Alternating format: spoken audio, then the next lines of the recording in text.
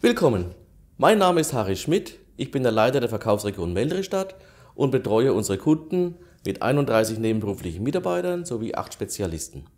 Sie interessieren sich für einen Nebenjob bei der Allianz im Außendienst, so bin ich Ihr Ansprechpartner.